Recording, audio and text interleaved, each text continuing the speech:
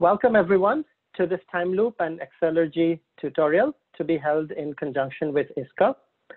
Um, my name is Angshuman Parashar. I work at NVIDIA. And this tutorial is uh, as a result of a joint collaboration between MIT and NVIDIA. And the two tools being presented here, Timeloop and Accelergy, are also as a result of a collaboration between MIT and NVIDIA. You can see the list of the other people involved in uh, putting this tutorial together. Um, we have uh, Tsai, um, uh, Nellie Wu, and Joel Emer with us uh, in this recording. Nellie will be presenting the second half of the tutorial on Accelergy later. I will be presenting the first half of the tutorial on Timeloop. Uh, specifically, the, uh, the part of the tutorial we're covering today is the lecture component. Um, we will later have a hands-on uh, practical uh, set of exercises uh, that comes later this week. Okay, um, before we begin, uh, here is a set of resources. Feel free to pause this video and uh, go through the links. The most important link over here is the tutorial website, um, which is the first link. And the rest of the other links should be available on the tutorial website itself, which includes the Docker that you'll need to download and all of the other infrastructures, references to papers, etc.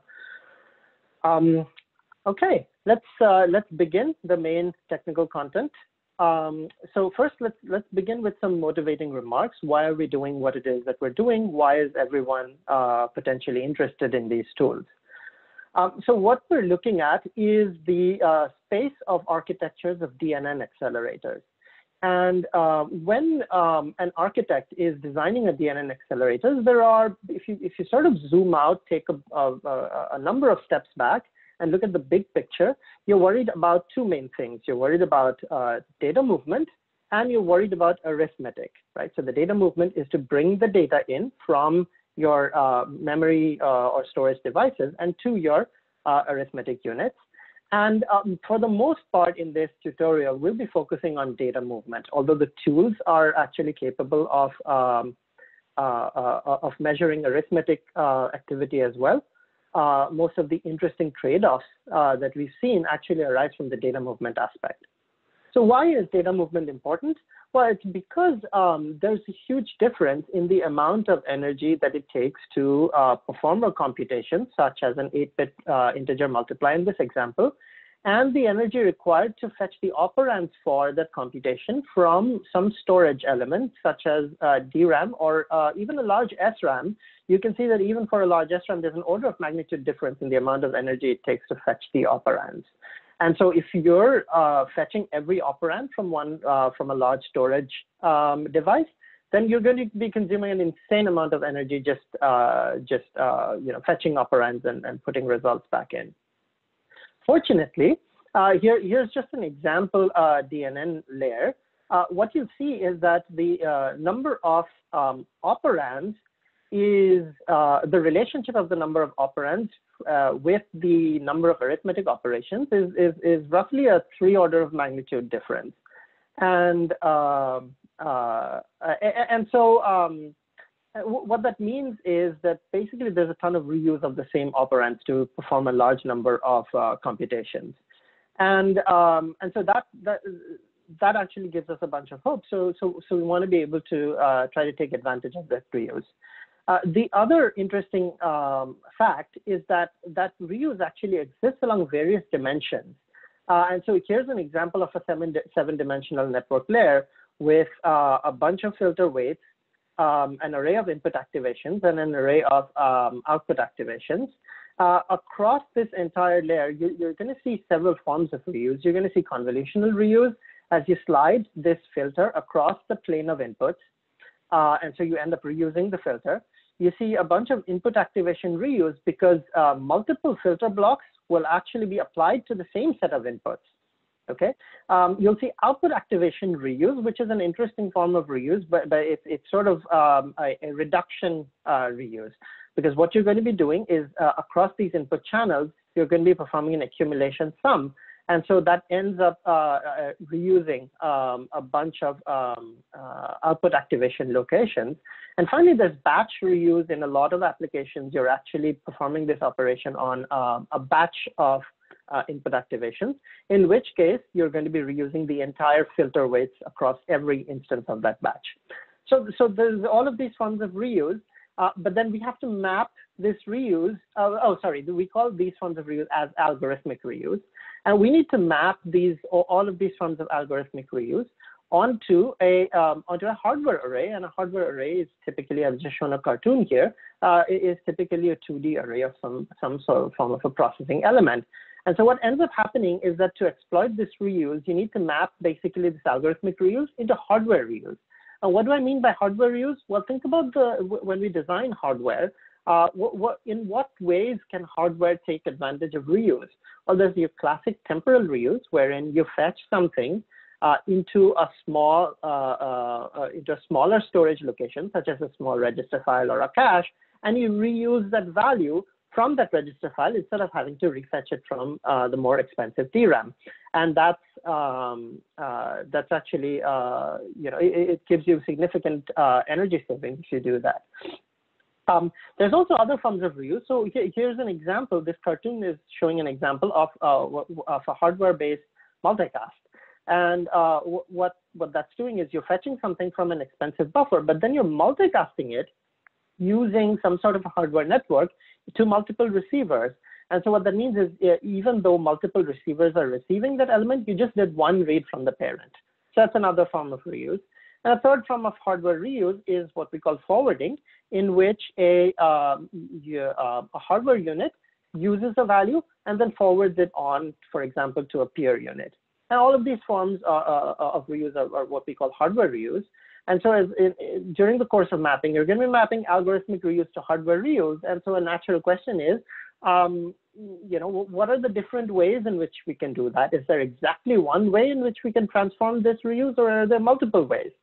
Uh, well, it so happens that um, for a lot of accelerator architectures, especially flexible architectures, uh, there's actually millions of ways to do that. And we call these mappings. So there's millions of alternative mappings of a single workload onto a single architecture. Okay. And um, and so a natural follow-up question could, to, to that would be, okay, are, are these mappings interesting or are they all kind of silly permutations of the same way of doing things? Uh, uh, do they actually matter? And what this slide is trying to show you is that yes, it does matter. Uh, this slide is showing you a, a, a, motivational experiment. It's a specific experiment conducted on one workload and one architecture. Um, so the workload and architecture is not changing, but the mapping is changing.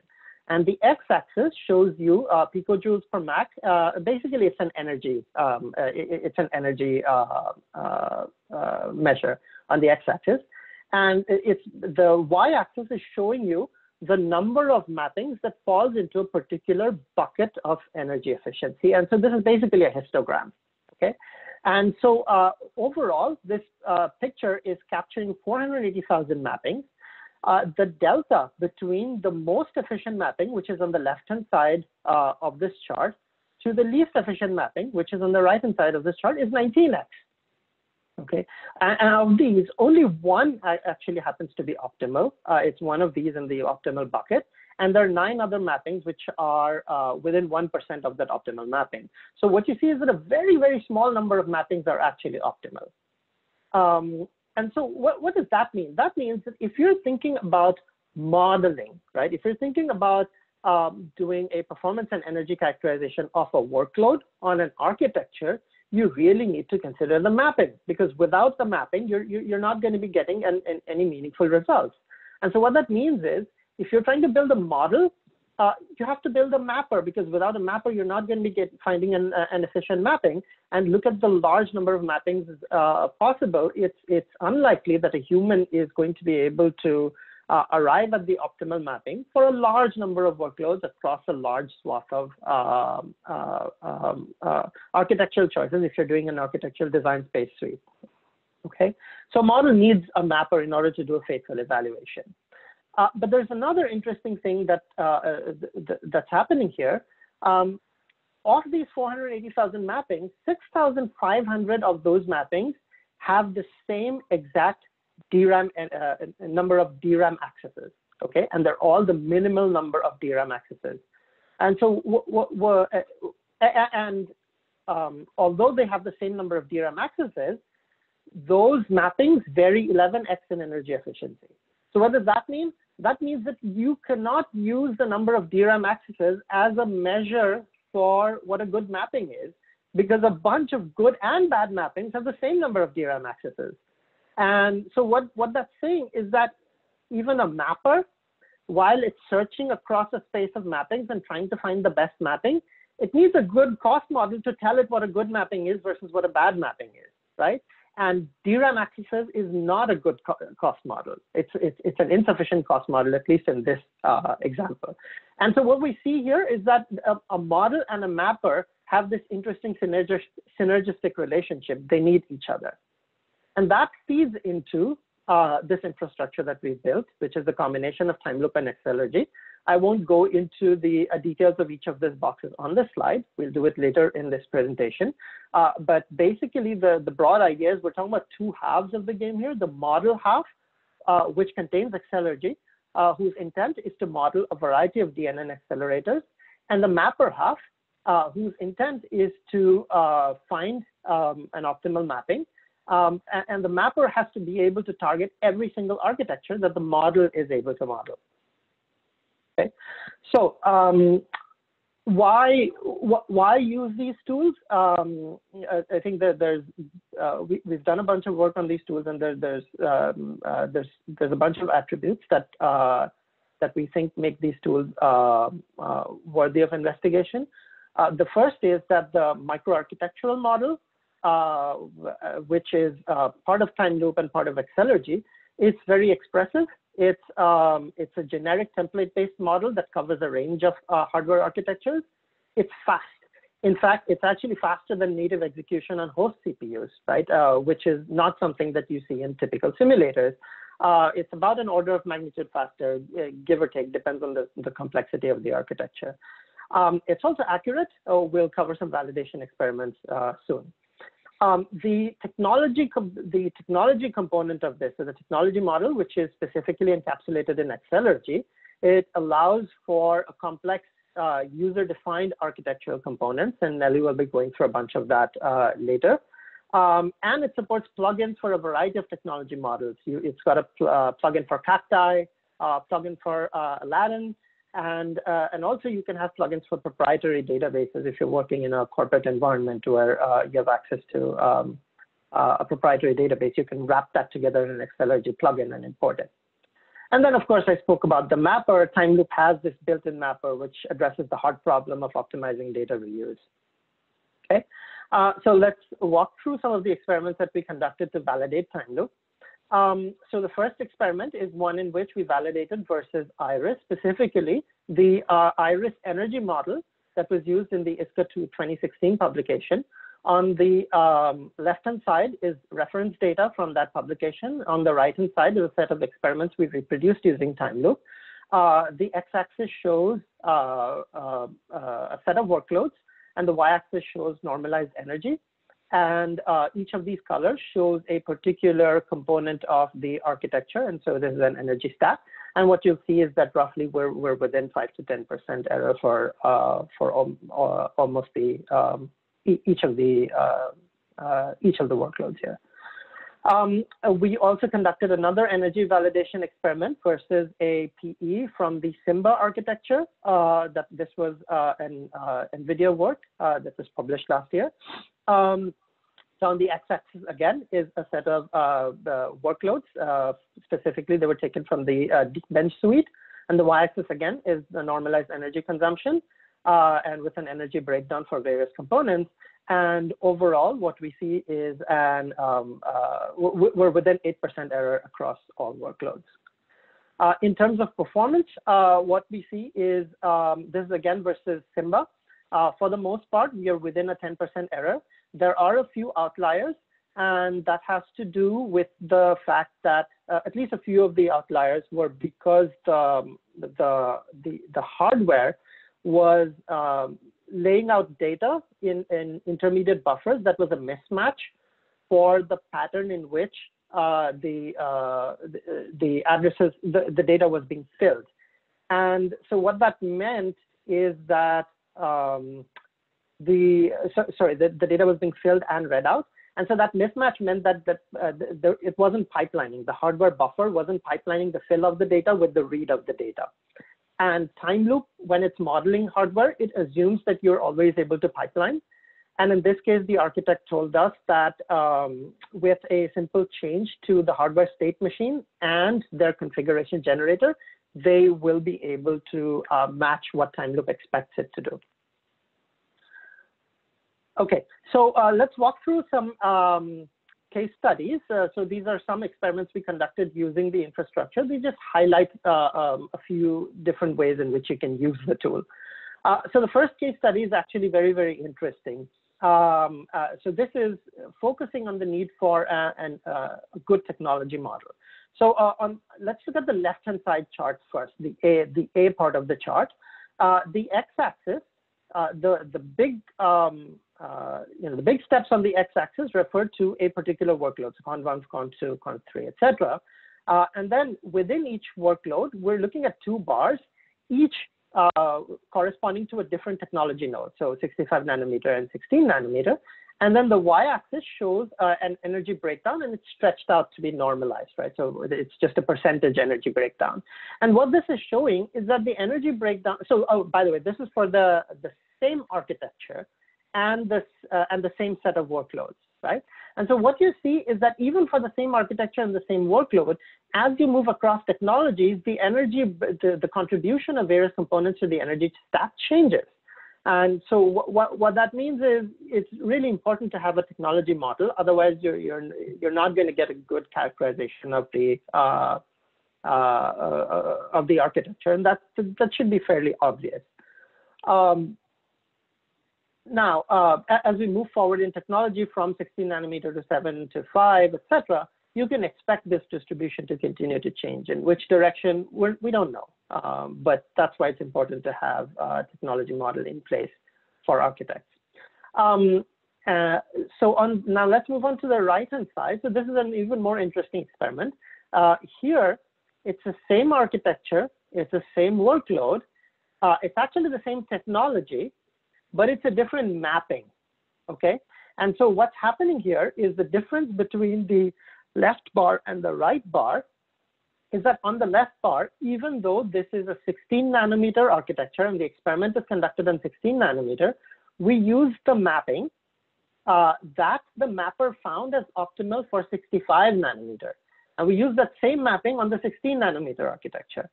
Versus the right-hand bar, what that is doing is rerunning the mapper now with the 16 nanometer model in loop with the mapper. And now you can see that the mapper comes up with a different mapping, which is even more optimal for 16 nanometer. So what is this showing? This is showing that it's really, really important to have an accurate cost model in loop with the mapper. Otherwise, the mapper may produce a mapping which is not portable across uh, technology generation, right? Um, so, uh, so that's one case study. Uh, the next case study is, is, is something that a typical architect would do. Okay, so this is uh, a set of workloads, uh, the same technology, and what, what this is doing is it's changing various architectural configurations. So in fact, the left-hand bar is sort of a, the nominal Eyeriss-like architecture that we use for this experiment. Uh, that was described in the paper, uh, the, the ISCA 2016 paper. And what, uh, what we observed was that there were a number of accesses that were going to the uh, register file. In fact, we didn't observe it, the Eyeriss architects actually observed it. Uh, and, uh, and so one experiment that we conducted uh, uh, together with them is, hey, what if we added a single register to, um, to sort of filter out some of these accesses? And that's what you see as the second bar. And you can see across all of the workloads, there's a dramatic reduction in energy efficiency as you move from the shared register file uh, into this um, uh, into this uh, this filtered um, architecture with with a single L0 register. And then the third bar actually represents what the final Eyeriss architecture, uh, the, uh, the, the final Eyeriss chip, the architecture that the chip used, which is actually a very optimized partitioned register file in which the RF was, uh, was separated out into three partitions, one for each uh, data space or tensor that, that it was accessing. And the size of each of those partitions was carefully uh, curated and architected to, to make sure that it fit uh, the uh, the requirements of that um, of that of the data flow that it was using. And you can see that with that sort of an optimization, you see a, uh, an even uh, bigger uh, energy efficiency improvement.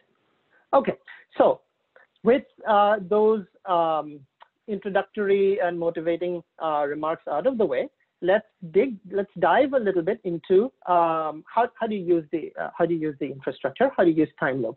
Um, in these slides going forward, we will be using Accelergy in a transparent way. So we, we, we won't be talking too much about Accelergy. Uh, in the uh, in the hands-on tutorial and in, during the Accelergy section of this lecture, uh, Nellie will be talking about uh, a lot more about actually how, how to invoke Accelergy itself.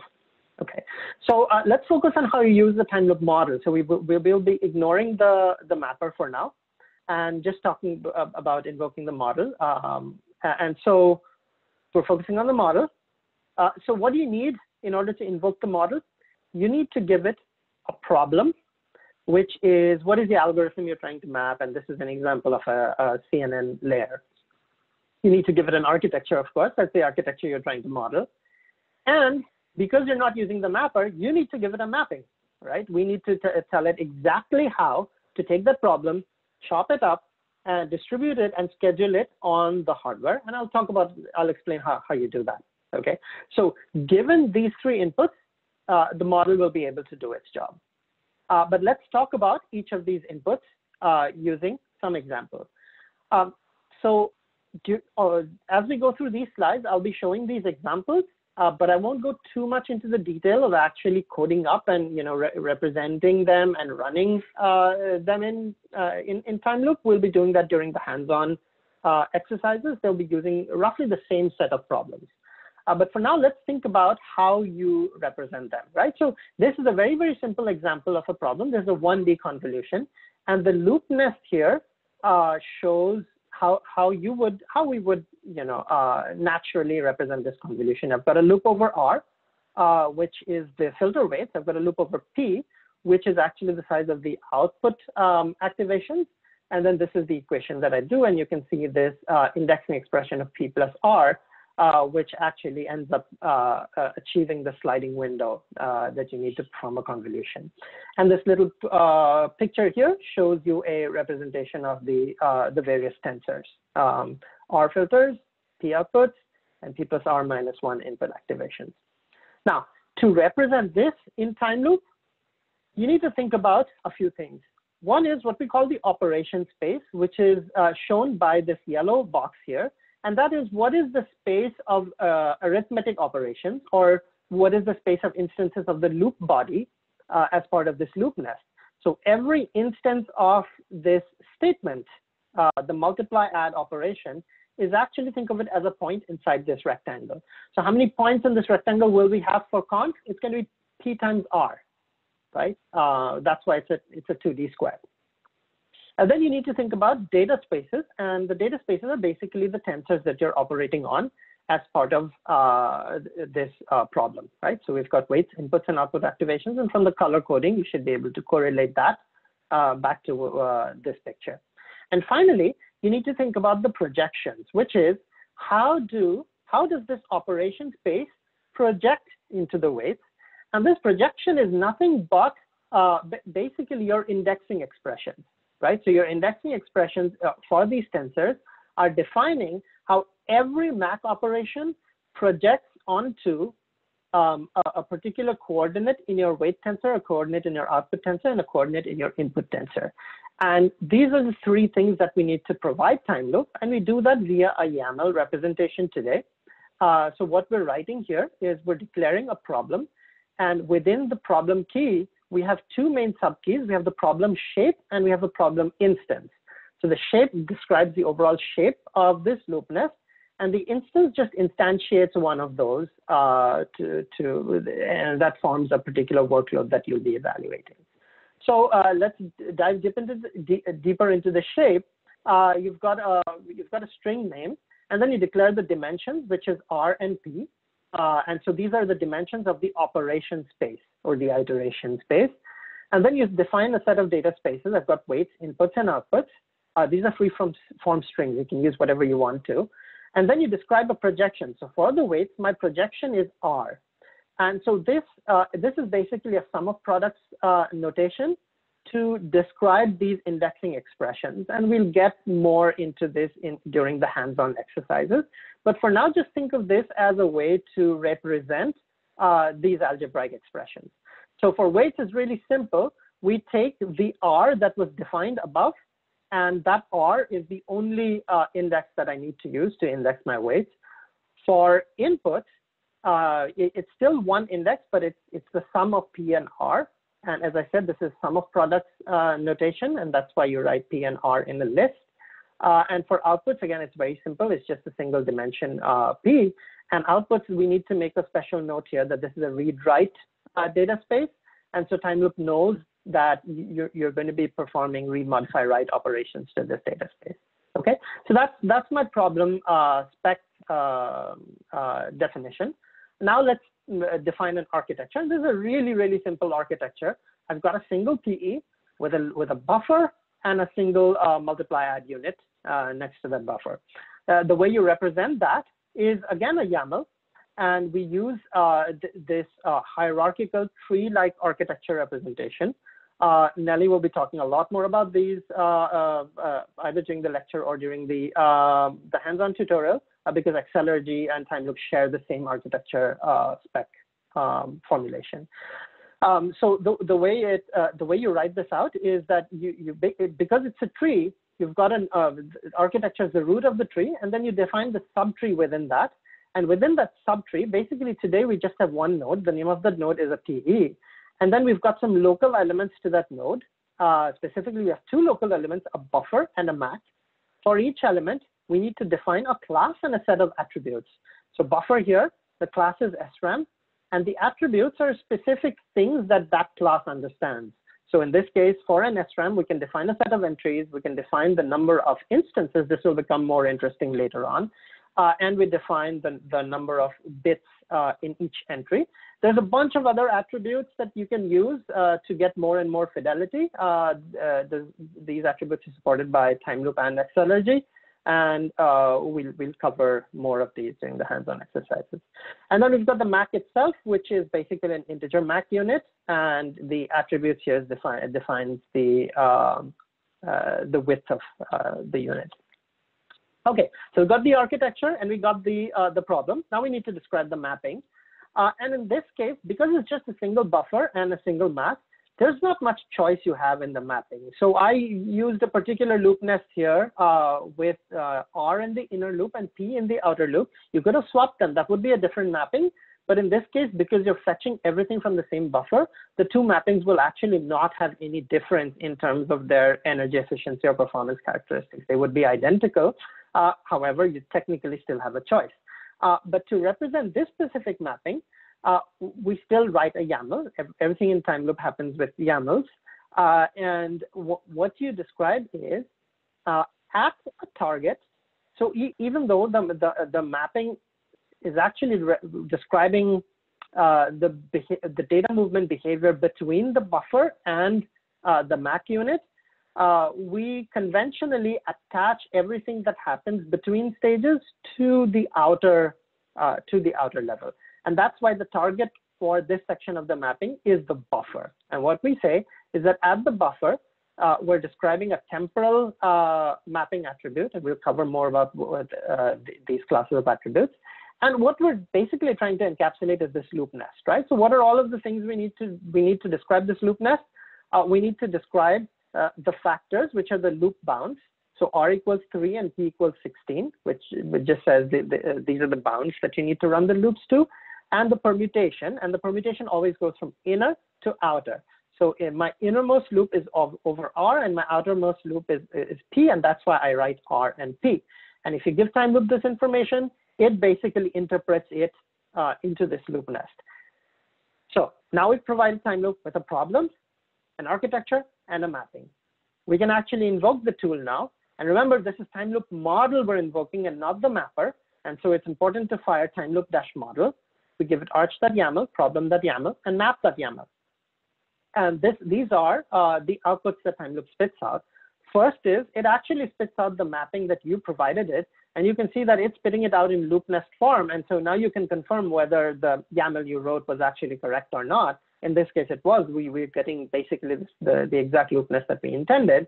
Uh, but additionally, it gives you some, uh, some useful information. It actually tells you the tile sizes of each of the tensors or each of the data spaces at that buffer.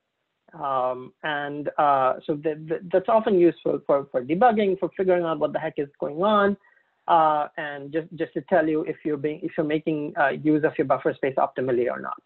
And it also spits out stats. It's a model, so it's going to spit out a bunch of stats.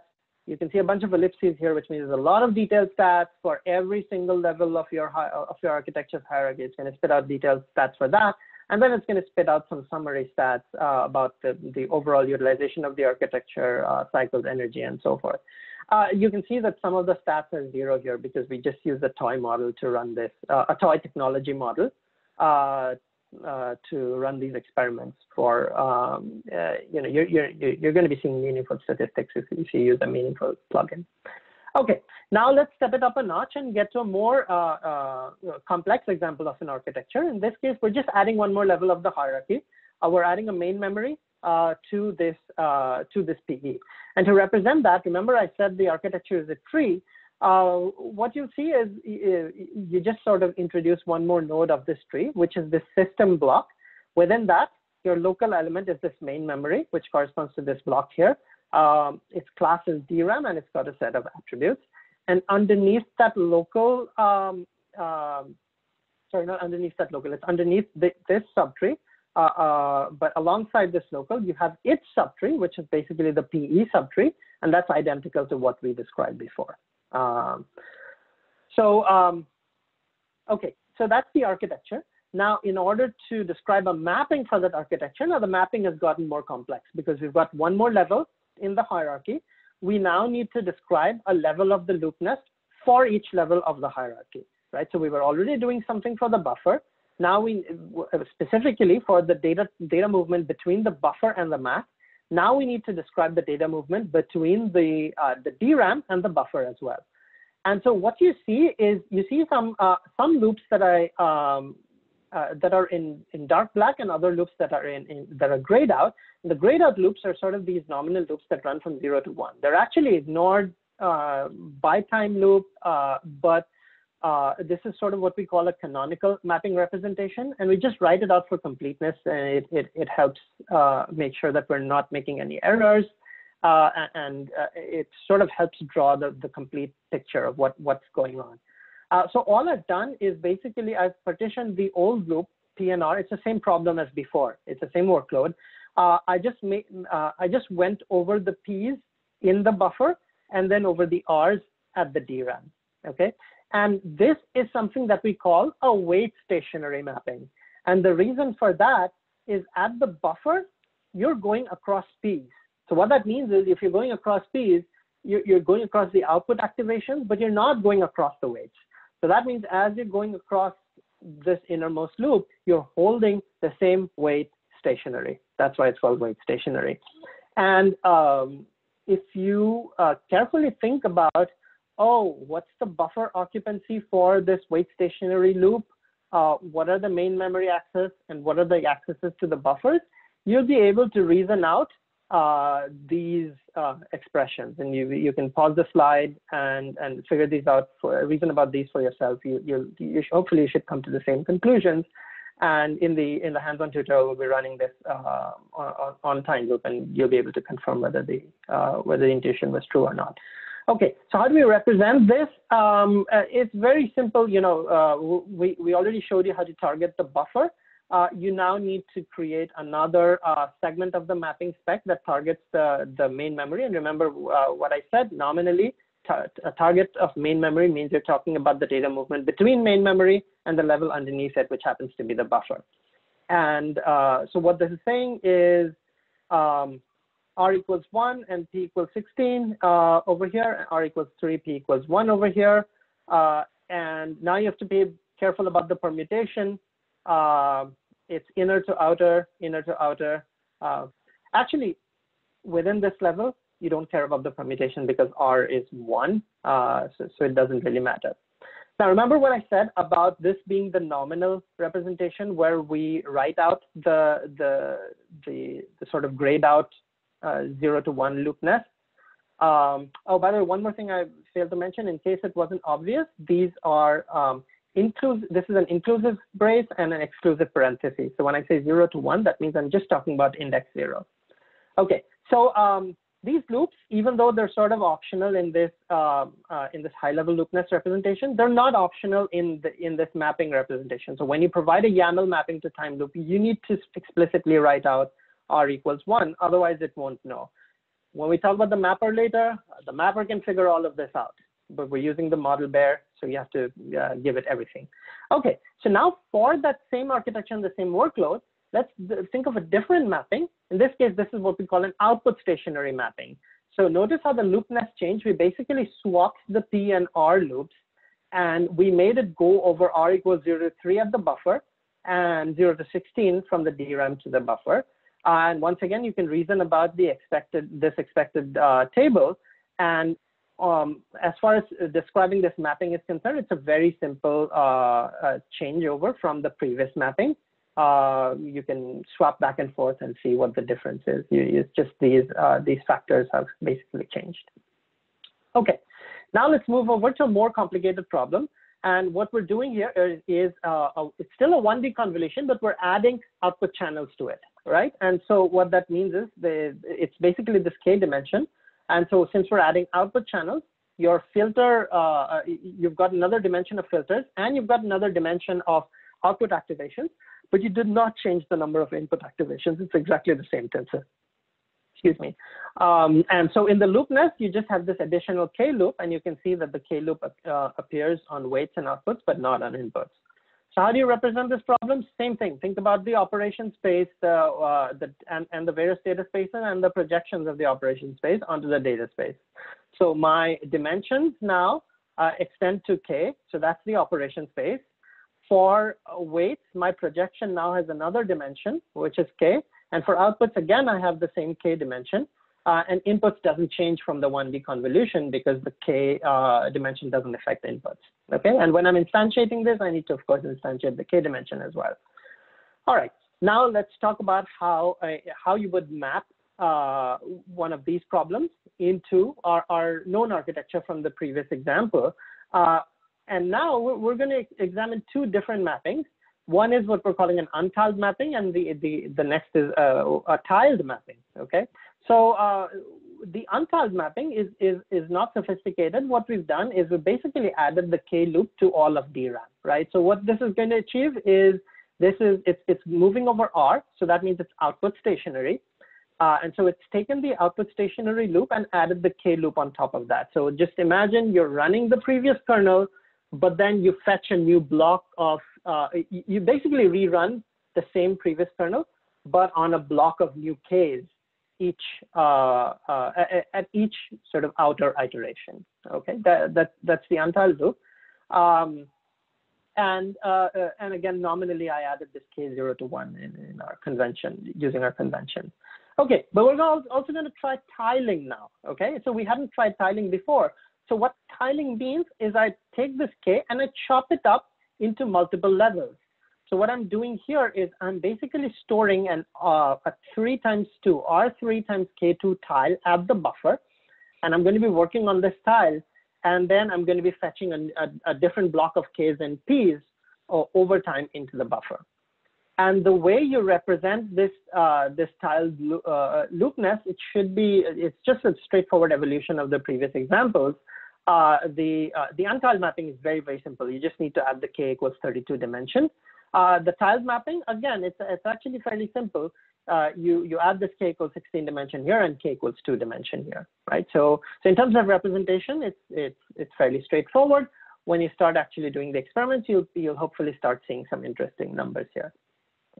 Now, I told you that this untiled loop is output stationary, right? What about this tiled loop? Is it also output stationary or is it something else? And to answer that question, what you should look at is the innermost loop. The innermost loop is going over R, which is not changing output.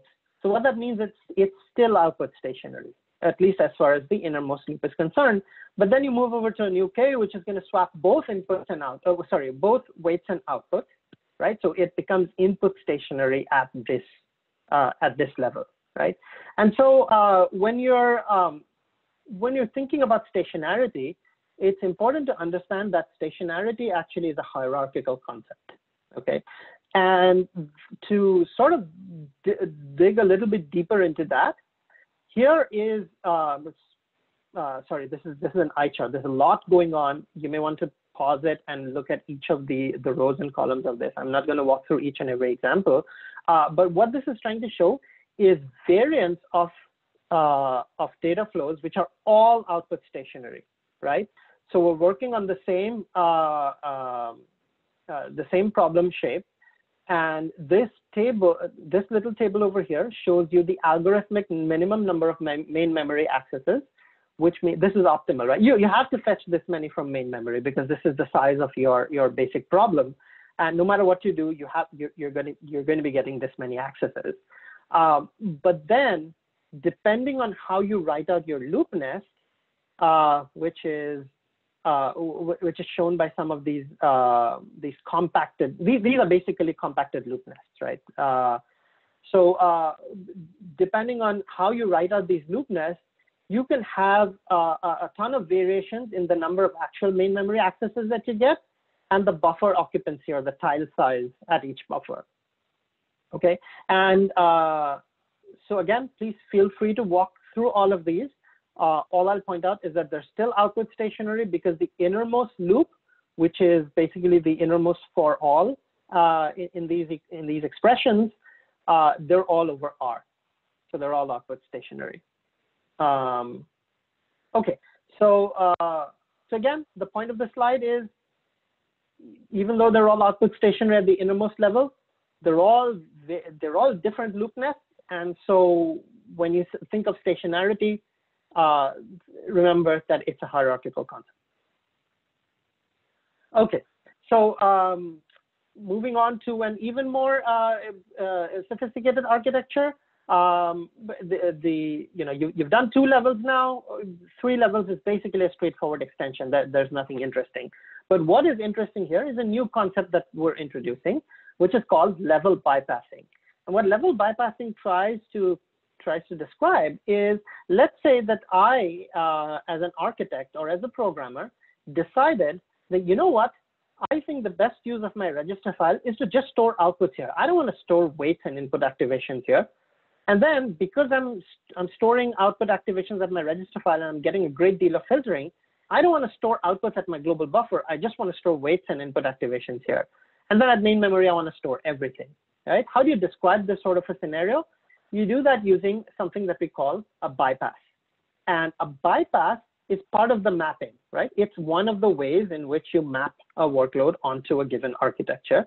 And in this case, what we're saying is, um, uh, hey, uh, hey, Mr. Timeloop model, at uh, the global buffer, uh, I wanted I want to describe a bypass uh, mapping directive and within that bypass mapping directive, I, I wanted I want to tell you that you, you please keep the weights and inputs at this level, but bypass the outputs. And you notice in the comments here that it says same as default, which means if, if you don't specify keep, the model will assume that the, by default you want to keep it. And so you actually only need to describe the bypass, which is overriding the default. Uh, and so you're saying, hey, bypass the outputs here, and then at the register file, I want to bypass the, the weights and input activations here. Now, I said that this is the default. This is the default for Timeloop dash model. Timeloop dash mapper has no default.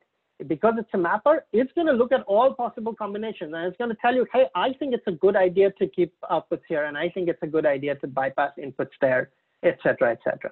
Okay, but we'll get to that. Okay, um, so why why bypass? Well, bypassing avoids the energy cost of reading and writing buffers of certain tensors.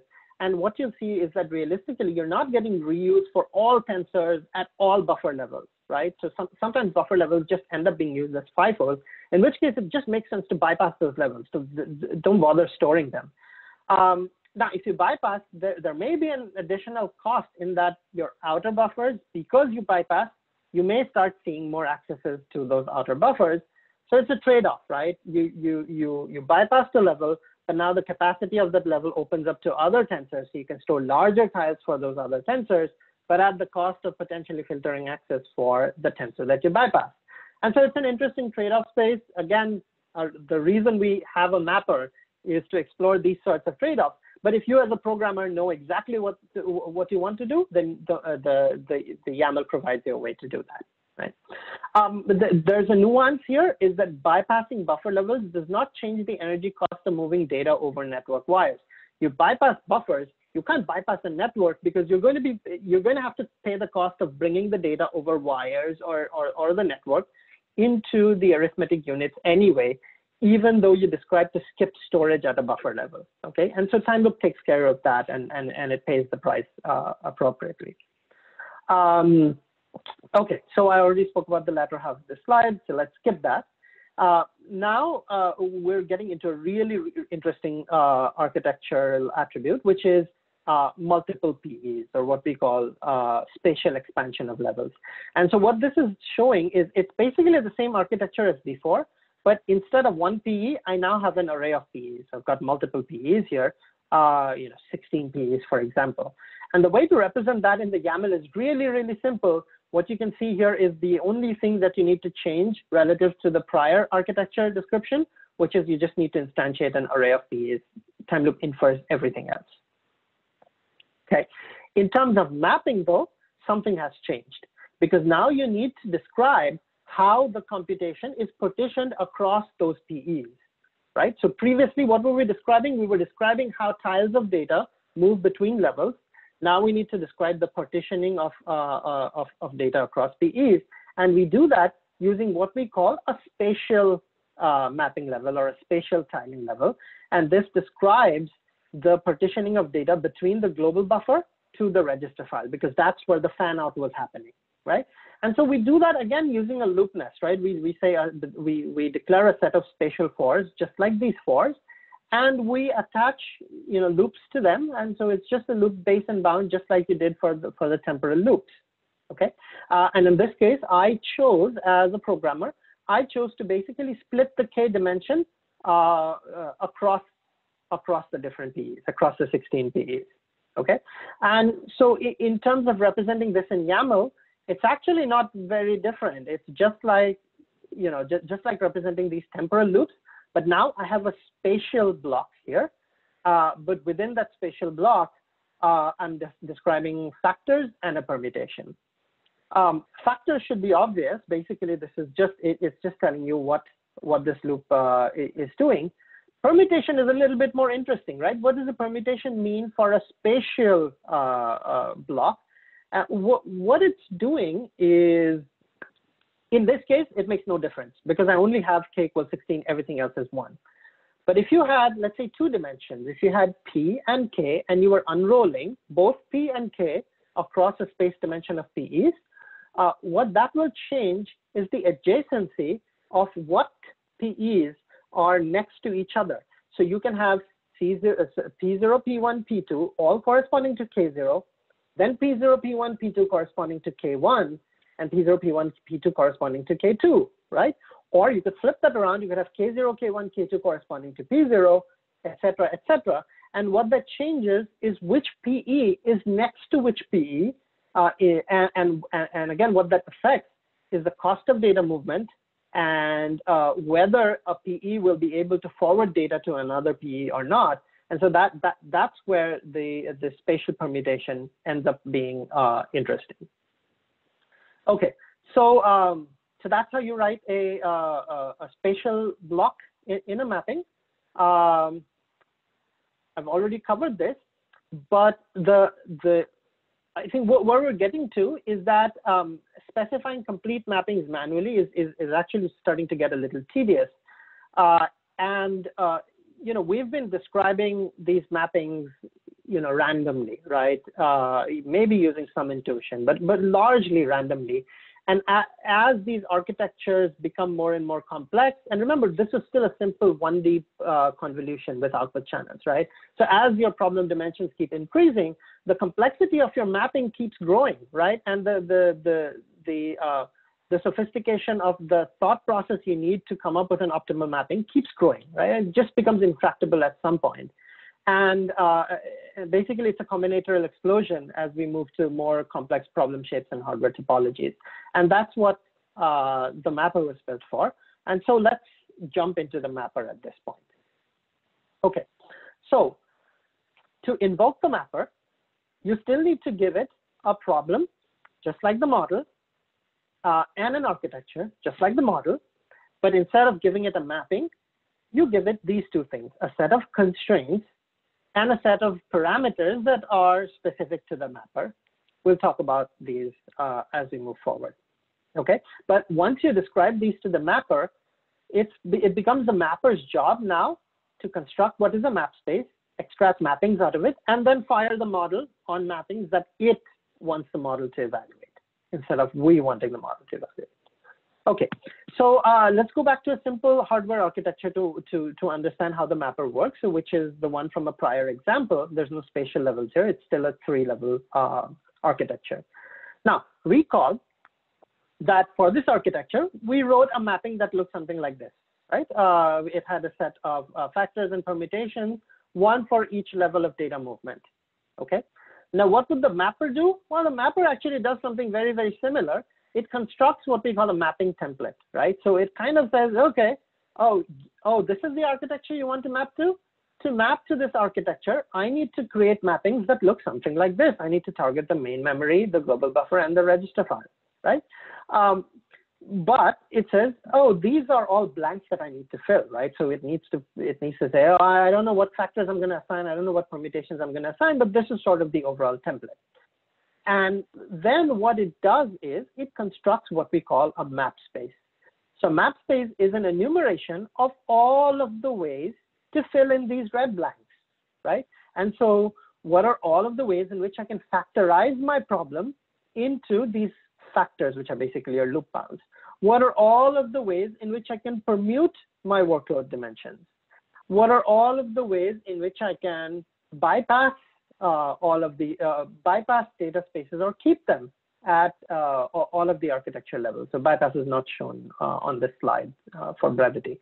Um, but, but, but basically a map space is an enumeration of all of the choices that the, that the mapper has, okay? And um, that space, it turns out, can actually be extremely large, right? I'm showing a three-dimensional uh, problem here and a three-level architecture uh, realistic architectures that we have can stretch to five levels, six levels, uh, and a full con, um, con uh, you know, a convolutional layer is actually a seven-dimensional problem. Uh, that's basically a crazy combinatorial explosion. In fact, most architectures don't have the flexibility uh, to support every single mapping that you can construct using this formula. Okay, they're, they're much more restricted. And so these map spaces need to be constrained by the user. Okay, and there's two classes of constraints. One is we call them architecture constraints because what they describe is the architecture's own inability uh, to, to go beyond these constraints. Uh, so here I've shown an example. Let's say your architecture was baked to be uh, output stationary.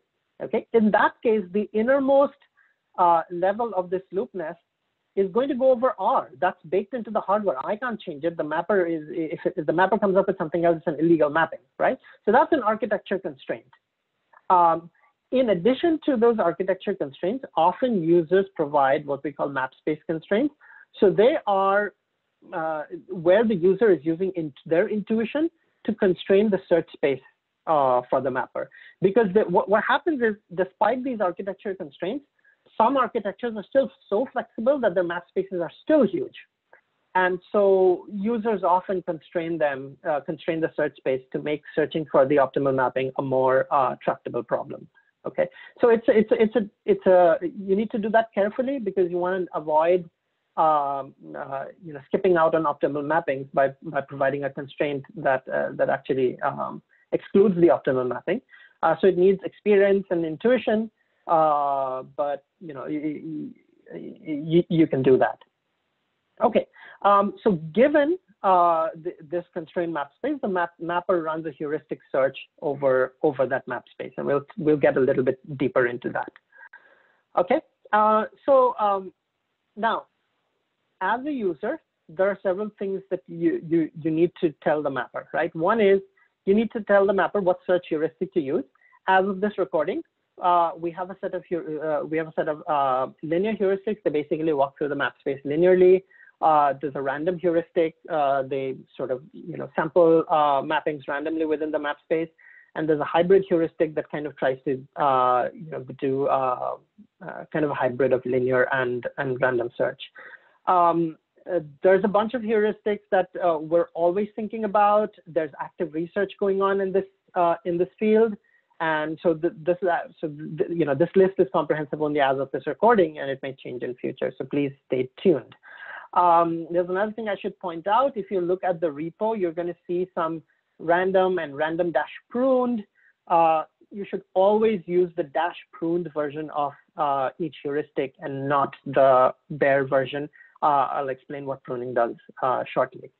Okay, uh, you also need to give the mapper an optimization criteria, right? What, what, what is it looking for as it's searching through mappings? How does it know whether mapping is better than the other? And that depends on the experiment you're trying to run as an architect. You, you, you there, there's no universal uh, prescription.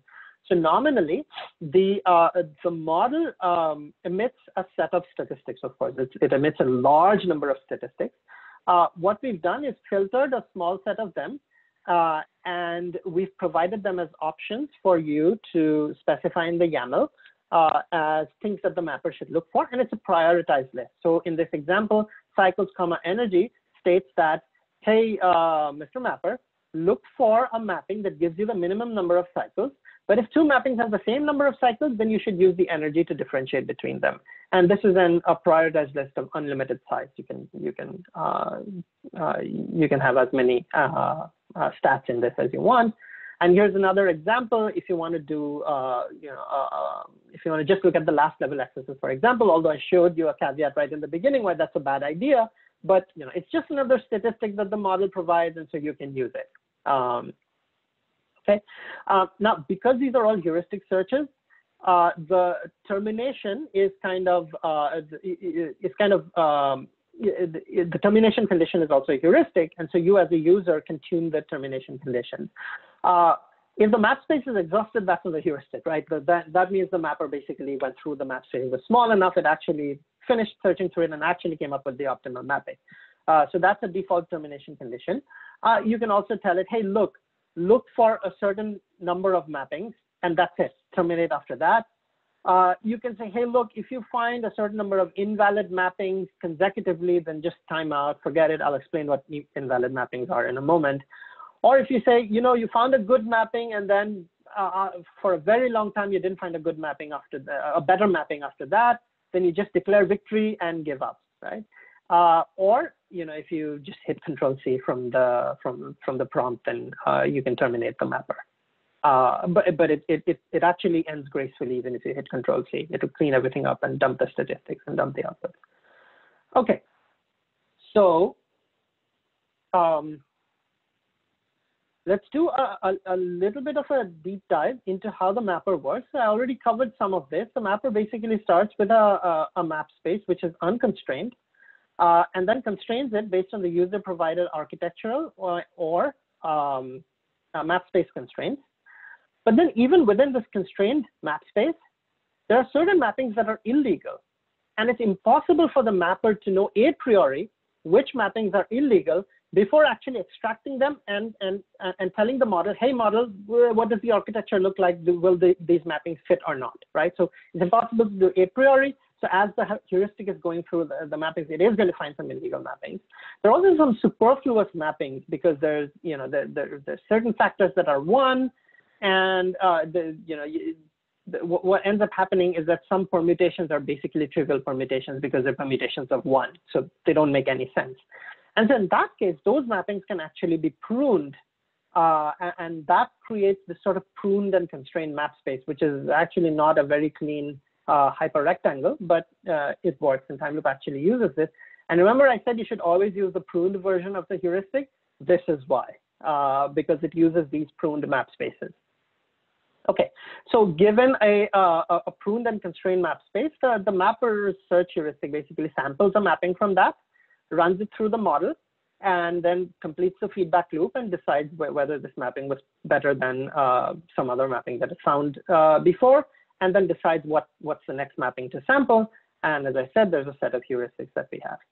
Uh, the mapper is actually also multi-threaded. So what ends up happening is that your pruned constrained map space actually gets uh, split up into multiple submap spaces. And then uh, the mapper actually uh, forks off a bunch of mapper threads. Uh, and each thread actually runs an independent uh, copy of the search heuristic. And each search heuristic runs an independent copy of the model. And so you've got this basically, uh, you know, very, very multi-threaded parallel search going on. Uh, and by default, the the um, the mapper application is going to query the host CPU to, for the number of available hardware threads it has, and it's going to fork uh, that many mapper threads. Okay, um, so this is the last section of this tutorial. We're going to take a deeper dive into how the model does its job. So we're moving back into the model now.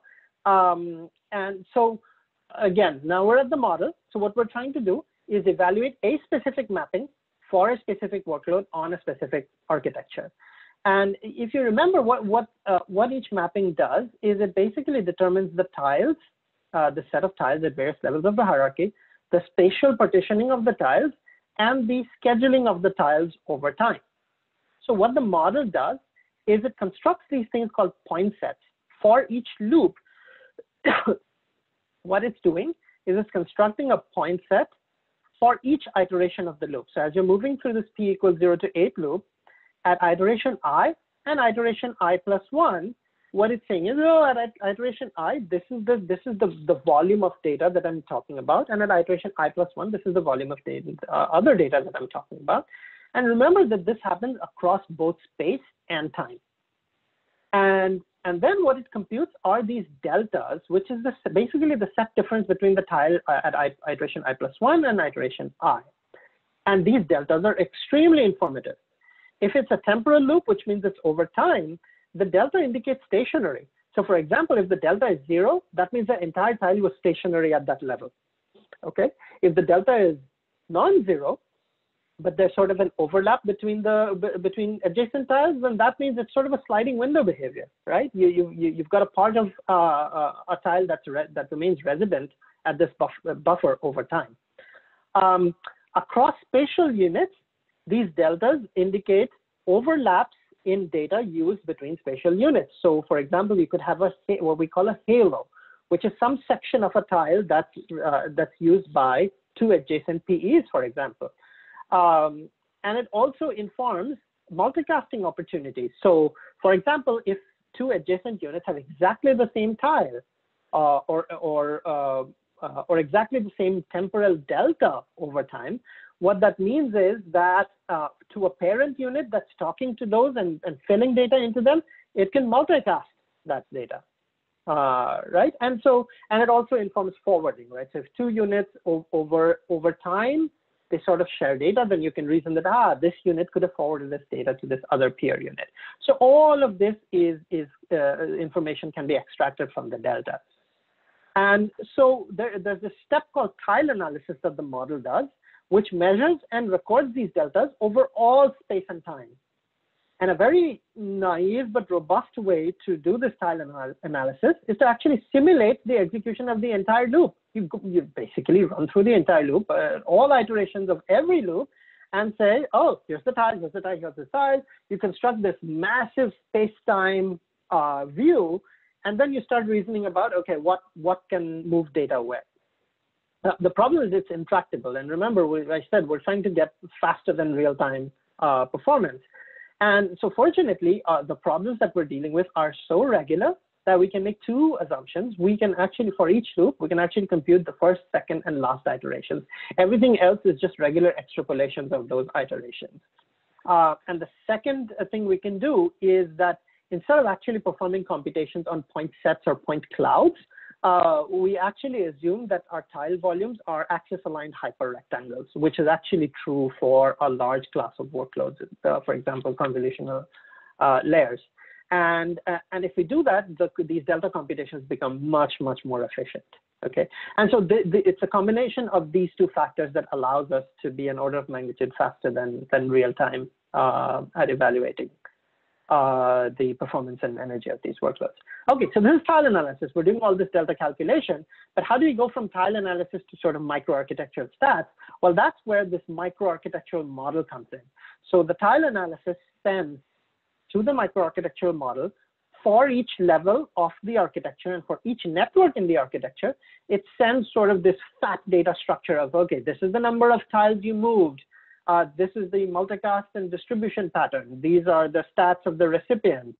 Um, and then what the microarchitecture model does is it says, oh, okay, in order to have moved this much data from the main memory to the global buffer, uh, I need to have made this many accesses to the DRAM. So the microarchitecture model is, is, the, is actually the module that understands uh, microarchitectural attributes. Say, oh, this is DRAM. Oh, this is an SRAM of width this much. It's vectorized in this way, uh, right? So, so it understands all of those microarchitectural attributes. And then beginning from this tile axis count, it produces a set of these microarchitectural statistics. It derives these, right? And there's a lot of interesting uh, statistics it derives. There's address generators, how many times will address generators get fired?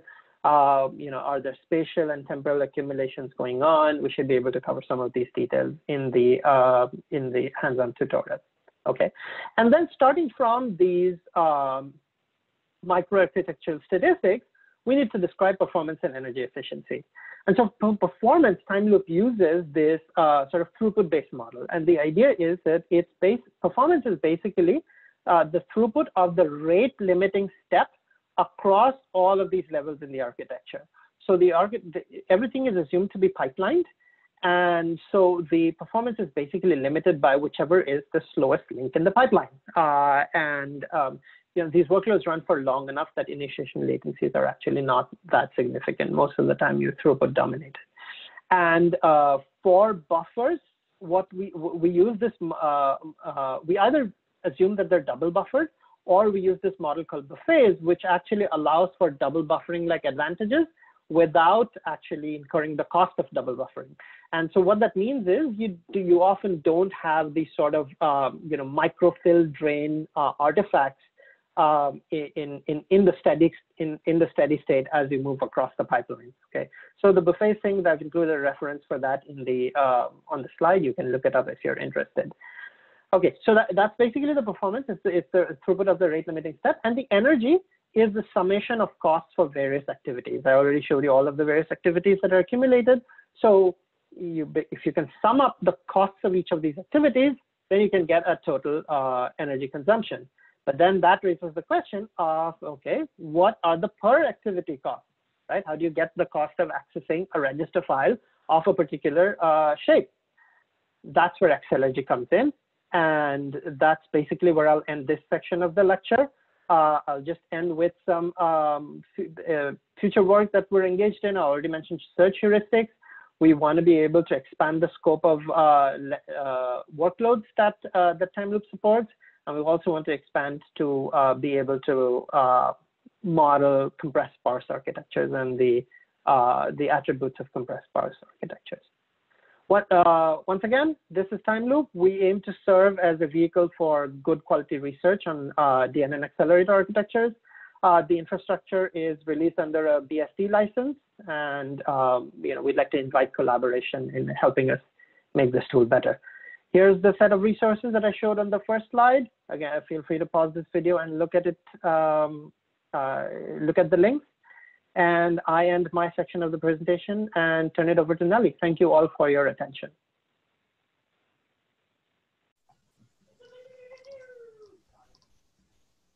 Okay, hello everyone. Welcome to the second part of the tutorial on time loop Accelergy. I'm Nellie Wu from MIT, and in this section, I'm going to talk in detail about the Accelergy tool in this evaluation system. So these are the resources that Anshu has mentioned in the first section of the tutorial, where we have the tutorial website and some uh, exercises related to this tutorial. So feel free to check out um, all these resources related to these tools.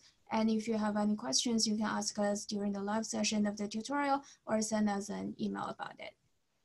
So now let's dive into the Accelergy part of the tutorial. So as we all know that data and computation intensive applications have become very popular in recent years. And due to their nature, processing such applications on general purpose processors such as CPUs and GPUs are extremely energy consuming. So to solve this problem, hardware designers have been focusing on evaluating or uh, designing various accelerator designs. So we could have the deep neural network accelerator designs, which were talked extensively by Ashu in the last section. And another example could be database accelerators that are targeted to the database processing applications. So since different type of these accelerators are optimized for different domain of applications, we have a very large and diverse design space of accelerators. So in order to quickly pick the most energy, energy efficient design, we must be able to quickly evaluate the energy efficiency of arbitrary potential designs we have in mind in this large and diverse design space. So how do we do this? First, let's take a look at how a design is developed. At the very beginning, we will have an architectural blueprint of the, archi of the design we have in mind, and we call this the architecture stage. Here we're showing a very simple general deep neural network accelerator architecture, which contains an on-chip global buffer and an array of processing elements, each of which is responsible for both locally storing data and perform multiply accumulation computations. So at this architecture stage, we tend to ask very high level questions. For example, how many, uh, how many levels are there in our memory hierarchy and how large are each of these levels? And specifically for the deep neural network accelerator, how many PEs do we want to have to meet the compute requirement and how do, we, how do we want to design them in terms of X and Y dimensions? By answering these questions, we're able to define a high-level architectural blueprint, which can therefore can, uh, can be developed into an RTL model, which contains a complete hardware description of our design. The RTL model can then be placed and routed into a physical design, which can in the end fabricate it into a chip. So during this process of developing this potential design, we would like to evaluate energy efficiency of this initial architecture blueprint we started with. So traditionally, hardware designers have been focusing on evaluating energy efficiency at the physical layout level using physical level energy estimators. So these estimators takes in the physical layout, perform simulations on the gate level components in the layout, and generate energy estimation. So as we all know that since there are thousands of gate level components in the physical layout, performing such simulations usually takes a long time. Furthermore, if our potential design did not meet our requirement, we have to go back to the architecture stage and redefine our architecture blueprint. Uh, to do that, as you can see in the figure, we have a very long turnaround time for evaluation of each potential design. Both the long simulation time and long turnaround time contribute to a very slow design space exploration with these physical level energy estimators. Furthermore, a lot of uh, the emerging systems are using new technologies to improve, improve the energy efficiency of the architecture. For example, a lot of DNN accelerators are using optical computation or non-volatile mem memory computation to increase the throughput of the architecture. Since building such emerging systems are even more complex than building the conventional digital design, such physical system development takes even more time, and using physical level energy estimators incur more overhead under such a situation. So being aware of this, we develop Accelergy as an architectural level energy estimator, which helps us to enable rapid design space exploration. So how does the architect architectural level energy estimation work? With an architectural level energy estimator, we perform the energy estimation right at the architecture stage. Um, as you can see here, we're taking in the architectural blueprint at the architecture stage and perform energy estimations on the architectural level component in the design, such as the global buffer or MAC unit. Uh, since there are much fewer such architectural level component than the gate level component, the simulation time of such estimations are much shorter. And furthermore, we can basically iterate through all the potential designs at, right at the architecture stage without generating any RTL model for them. And this results in much shorter turnaround time for each evaluation of a potential design. And both factors contribute to a faster design space exploration. So once we have arrived at the most energy efficient design, we'll then go ahead and implement the RTL model, physical layout, and finally fabricate it into a chip. So as we have mentioned, our Accelergy tool belongs to this category of architecture level energy estimator. So how does the architecture level energy estimation of Accelergy plays a role in the Timeloop and system? So uh, recall that for the Timeloop tool, we take in three important types of input, the constraints of the map space, the problem shape, and the architecture description, and Timeloop then performs the map, map space exploration on the architecture as well as the problem. So one of the most important fact, uh, metric that Timeloop wants to see for each potential mapping is the energy efficiency of the mapping running on the architecture. So in order to get the energy efficiency, Timeloop relies on the uh, energy estimator to get it to get the energy estimations. To do that, Excel Timeloop sends the input architecture description internally to the Accelergy tool, which is able to use this architecture description to perform an energy estimation. Accelergy generates the energy reference table and sends it back to the Timeloop tool. The energy reference table records the energy per action values of each component in the design. By an action, we mean an operation that can be performed by a component. So in this example, we have the global buffer inside the architecture, and since it's a storage unit, it can be accessed, so it has an associated action called access. And in the energy reference table, Accelergy determines that the per every access to global buffer takes 100 picojoules. With this knowledge, Timeloop is able to generate the energy efficiency of each mapping it evaluates. So at this point, you probably want to ask, why do we use Accelergy? Are there any existing tools that can perform accelerator energy estimations at the architecture level? So I'm going to briefly talk about some existing accelerator estimators and their limitations, and also go through how Accelergy solves these challenges. So the most popular type of accelerator estimator are called accelerator specific estimators. So there are two example papers that implement such type of estimators. These estimators take in an architecture description, as we have mentioned, generally applicable to all the architecture level energy estimators. And the architecture description is um, composed of defined primitive components. By primitive components, we mean the basic building blocks of an architecture. As you can see here, each primitive component is defined with its associated hardware attributes. For example, the global buffer and local buffer are the storage components, and they're defined in terms of the width and depth. So the energy estimator will take in such an architecture description, and internally it stores an energy reference table, which is specific to the architecture it wants to evaluate.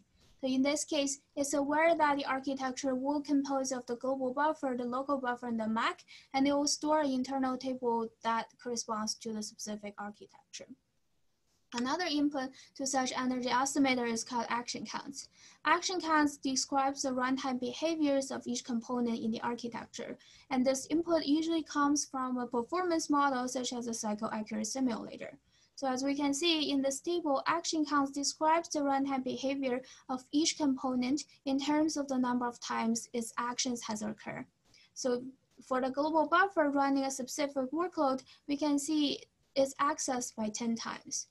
Having both the architecture description and action counts these types of energy estimators combine information with the local energy reference table to do an energy calculation. Basically, this calculation combines the corresponding entries in the energy reference table and action counts to generate the energy estimate for each component in the design by, uh, and to show that what's the energy consumption by running the specific workload. So this is basically the high level flow of how these existing work generate the energy estimation. So what is the problem? Imagine that we do want to change the architecture. For example, we want to change the technology node from 45 nanometer to 65 nanometer. So now we have a completely new architecture. However, with these existing tools, the corresponding energy reference table do not provide the necessary information uh, for this new architecture because it was internally stored and fixed uh, specifically for the old architecture. Therefore, with not enough information, these external estimators will fail to perform the energy calculation of the new architecture with the new technology node. So with a simple example, we have already shown that these existing tools are not flexible enough with this fixed internal energy reference table to generalize the energy estimation to various designs in our design space. So Accelergy being aware of this limitation of the existing tools constructs a more flexible infrastructure that supports the modeling of the diverse architectures with various underlying technologies. So in order to do that, again, Accelergy takes in the architecture description with the primitive components defined by its associated hardware attributes. Instead of having a fixed internal energy reference table, Accelergy implemented the energy reference table and area reference table generator, which is flexible enough to generate energy reference table for each architecture it sees during runtime. And furthermore, Accelergy understands an architecture description in an object-oriented fashion. So more specifically, in each architecture, each component belongs to a primitive component class. So here, for example, both the sto local storage and global storage are, uh, are instances of the SRAM primitive component class um, that's under, that can be understood by Accelergy. And this, this object-oriented approach reduces the complexity for Accelergy to perform the energy reference table generation. So how does the energy reference table generation work? First, Accelergy will identify the component in design. In this example, the global buffer is identified by Accelergy, and Accelergy R is able to capture both the hardware attributes of the global buffer as well as the premium component class that it belongs to. The energy reference table generator queries a primitive component library that's stored in Accelergy, which summarizes the common primitive component classes that are popular in accelerator designs. Of course, user can supplement this library if they have their own primitive component. So inside the primitive component library, Accelergy will realize that for SRAM class components, they have a, an action associated with them called access. Therefore, Accelergy will send a request to external energy estimation plugins asking for the energy consumption of this access action associated with the specific component it looks like looks at. So an example uh, simple estimation plugin will contain information that are related to a component in the architecture. So here we're showing a very simple example where the plugin contains a database which stores the energy consumptions of the various uh, components in the architecture. So by receiving the request, this estimation plugin will find the most matching entry and sends back the energy and area results all the way back to the energy reference table generator. So usually we will have multiple of these estimation plugins and Accelergy will pick the most accurate energy estimation plugin to perform this estimation with the result returned back to the energy reference table, uh, energy reference table generator, Accelergy will populate an entry that's related to this component in the energy reference table. And the same actions will be performed for all of the components in the architecture, and then a energy reference table specific to this architecture input is generated during runtime. So as you can see that Accelergy is also able to generate area reference table, which uh, depicts the area of each component in the architecture it parses. And the second step uh, for this energy estimation process is to calculate the energy consumption of each component when they are running a specific workload. So Accelergy has an energy calculator which is able to uh, combine the energy reference table information with the runtime action counts of the component um, recall that this runtime action counts usually come from a performance model and it records the runtime behaviors of the component design. So Accelergy combines the energy reference table it just generated with the action counts to generate the energy estimations of each component in the design. So as you can see here, if we run a different workload on the same architecture, we do not need to regenerate the energy reference table as the components in the architecture didn't change. We only need to rerun the simulation to have a different action counts.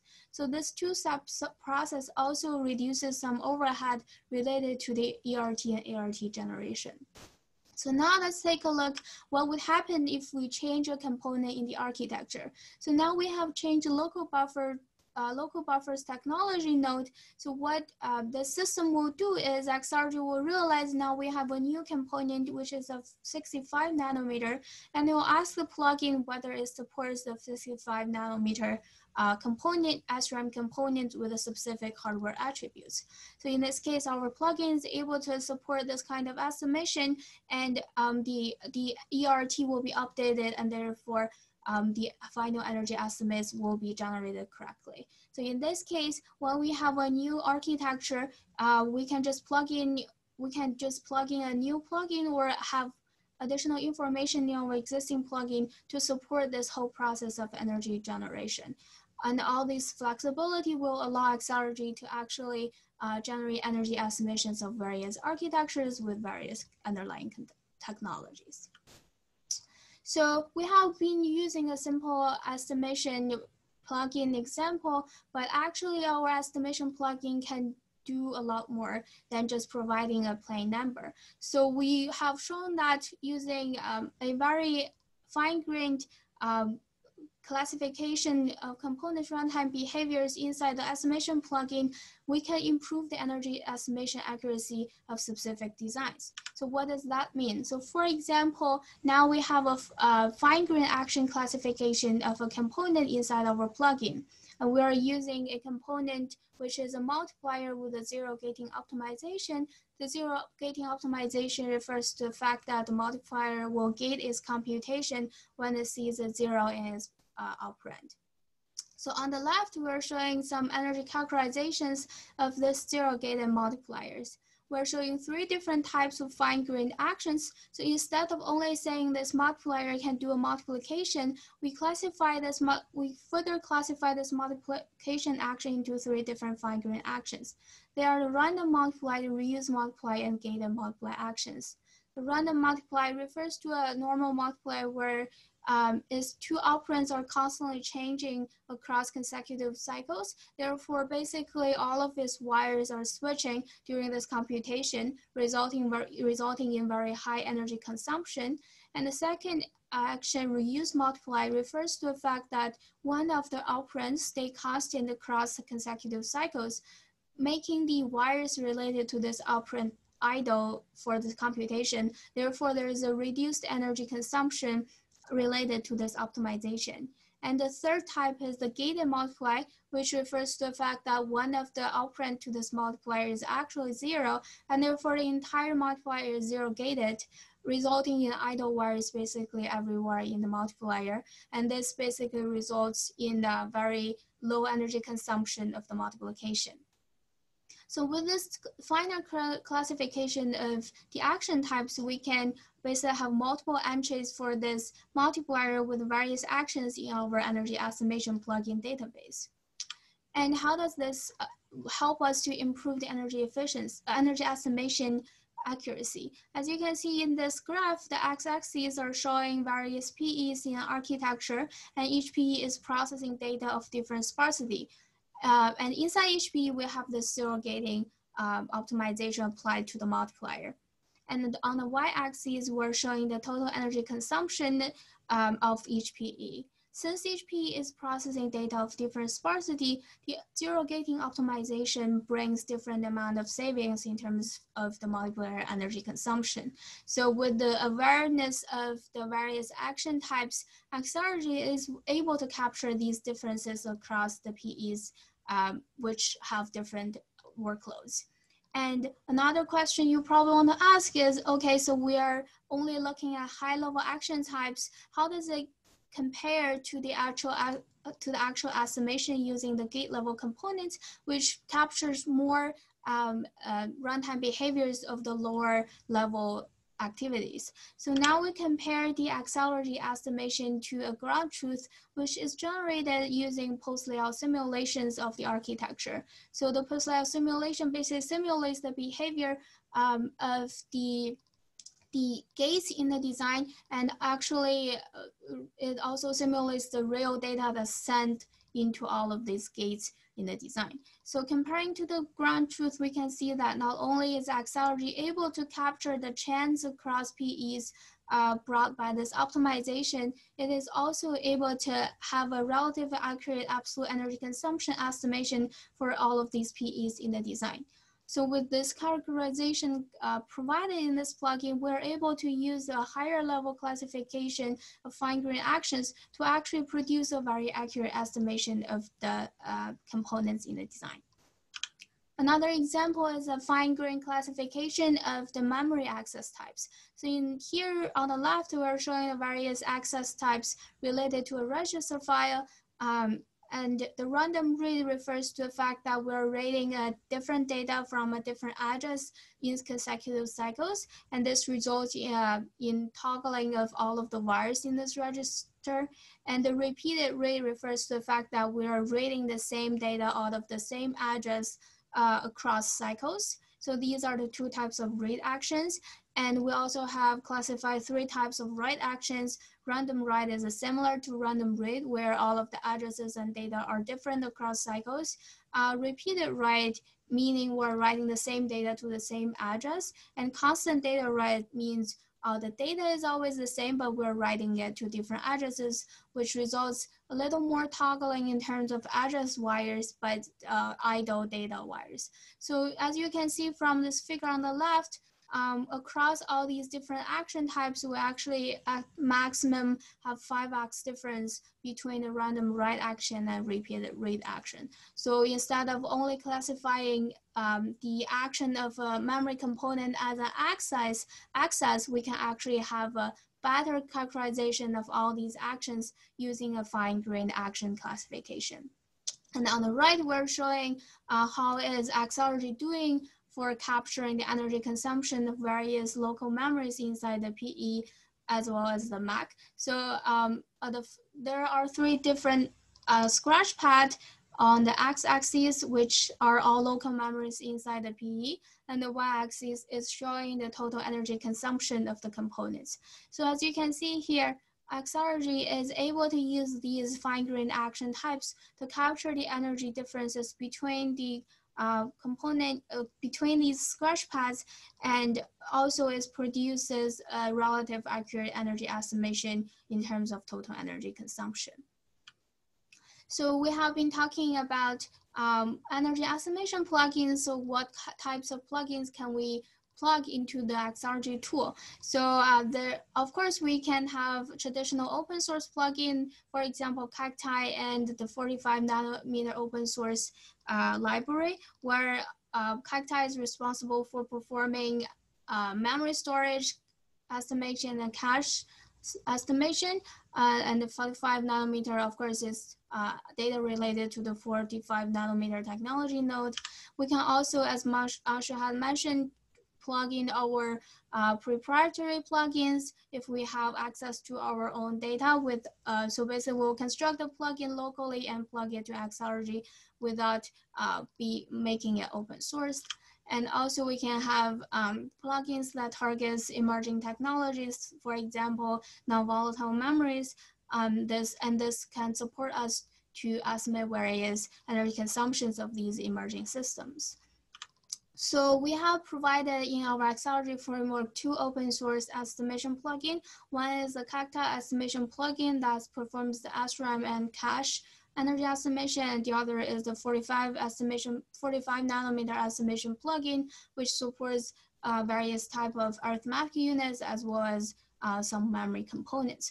So this uh, basically shows a high level structure of um, modeling of a simple architecture but actually, in reality, a lot of the designs are more complicated than just a global buffer and a PE. So they, due to their complication, they actually involve many more primitive components. So this, here we're showing an example which is called a smart buffer, which is a storage unit with pre-programmed address generators. So on the right, we're showing uh, basically an architecture organization of the smart buffer unit where we have um, AG is the address generator. We have two address generators for generating the read addresses and write addresses.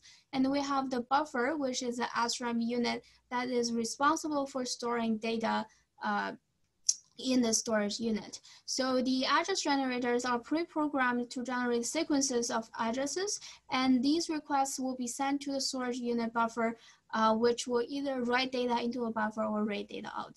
So as we can see here, the address generators basically are modeled as adders, um, and they belong to the adder class, and the buffer belongs to the SRAM class. So why, so what's the motivation of having this kind of storage unit? So basically for uh, domain-specific applications, they have very predictable storage access patterns. So for example, if we are doing general matrix multiply applications, we know we want to access row by row for each uh, matrix operand. Therefore, uh, with the with this knowledge of these domain-specific application, it is useful for us to actually pre-program all the read all the access sequences inside the smart buffer instead of have a centralized control unit that incurs a lot of overhead um, for either performing um, calculation of addresses or sending the uh, calculated addresses to these local buffers. So now let's, um, instead of having this simple architecture design, we can um, enrich it with this new practical storage unit. So we can add all the address generators to the global buffer storage and the local buffer storage. And furthermore, we're adding a FIFO unit to the MAC um, component because we, we do want to store some of the output of the mic to, to enable uh, higher throughput. So this is a slightly more practical architectural design, but as we have seen in the last section, we actually have the spatial property of the architectures, where we probably will have many more PEs to perform parallel computations, which allow higher throughput in our accelerator.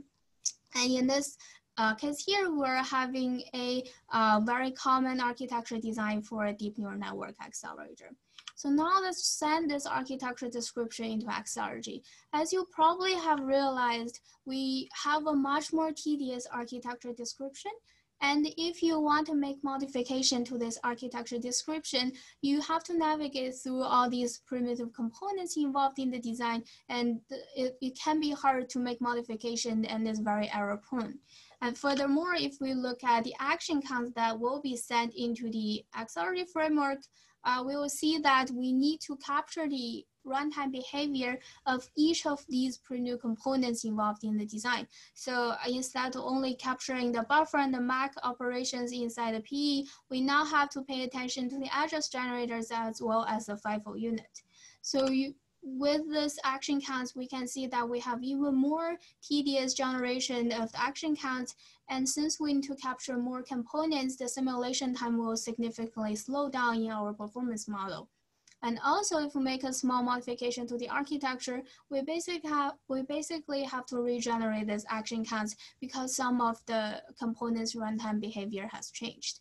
And this makes the, the evaluation turnaround time to be longer because we have to rerun the simulation every time we make a small update. So uh, we should solve this problem? And are there any existing tool that's try to model such complicated architectures? So as we all know that CPUs and GPUs are very complicated architectures, and there are actually existing tools for architectural level energy modeling of them. So what they do is to, in order to reduce the complexity of our architecture model as well as the runtime action counts, they use a fixed set of compound components to represent the architecture. By compound component, we mean high-level components that can be decomposed into lower-level components, um, such as primitive components. And in this case, since general-purpose processors architectures are fairly regular, one um, architecture model can basically represent a wide range of such uh, architecture designs. However, if we try to match our accelerator design to the existing models, it becomes really hard because our accelerator are specifically optimized for a specific application and the optimization applied to each accelerator will be different. So it's it's, it will be not sufficient for us to provide a fixed set of compound components that can uh, that is able to model the various and the various accelerator designs in a diverse design space. So being aware of that, accelerator infrastructure implements a mechanism that actually supports the succinct modeling of the complicated architecture in the very diverse accelerator architecture space. So first, um, similar to existing work, we use compound components in our architecture description. But uh, since a lot of accelerators have their own optimization to the hardware, we actually allow architecture descriptions with user-defined compound component classes. So you probably have noticed here we have very simple architecture description. However, the global buffer and the local buffer are of smart buffer class, which is user-defined and is composed of the address generators and the local and the actual storage. And we define the MAC to be a MAC FIFO class, which is again user defined and is a high level class that has lower level subcomponents. So in order for Accelergy to understand what each these user defined classes are, uh, we also allow user defined uh, component hardware architecture using premium components.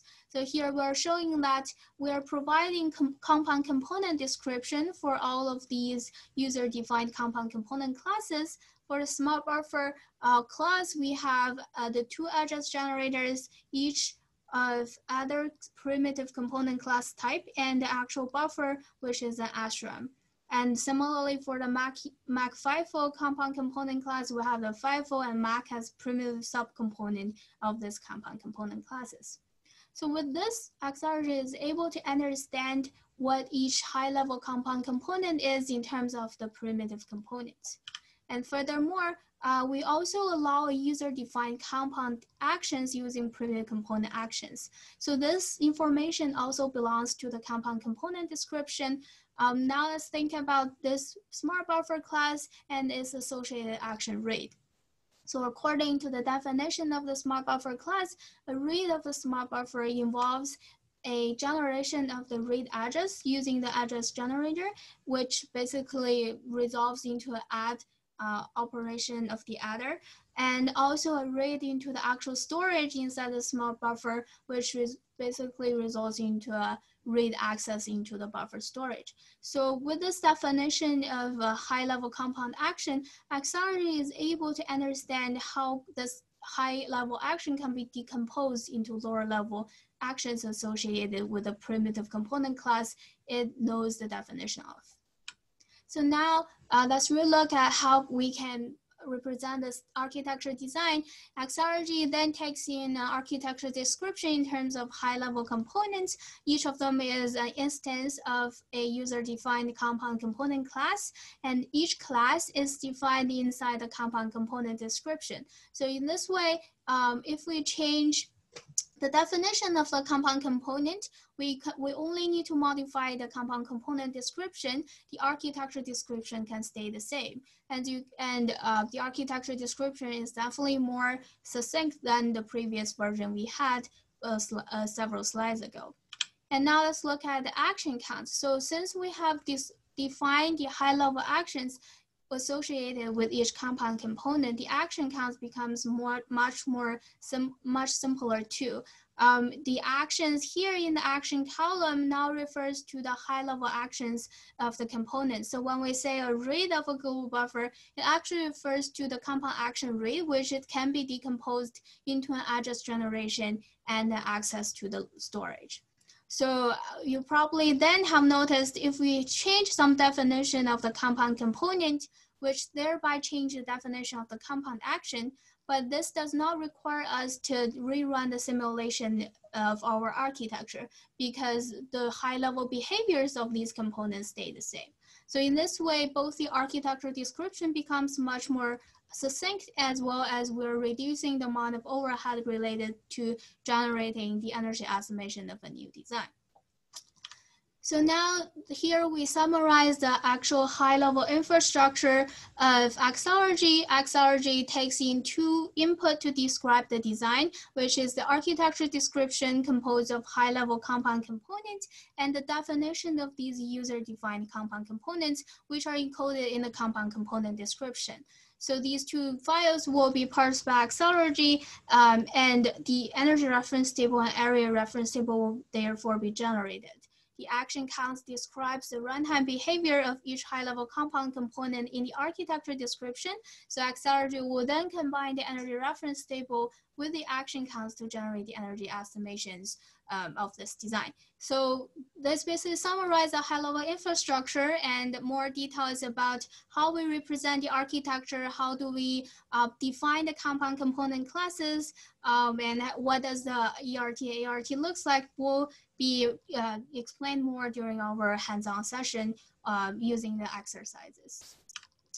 So now let's see how Accelergy is useful. Does it perform accurate estimation on the various accelerator designs? So we first perform a validation on a conventional digital DNN accelerator design, uh, which is Eyeriss, and we run AlexNet with ImageNet input feature map on it and compare it to the uh, ground truth generated from the post-layout simulations.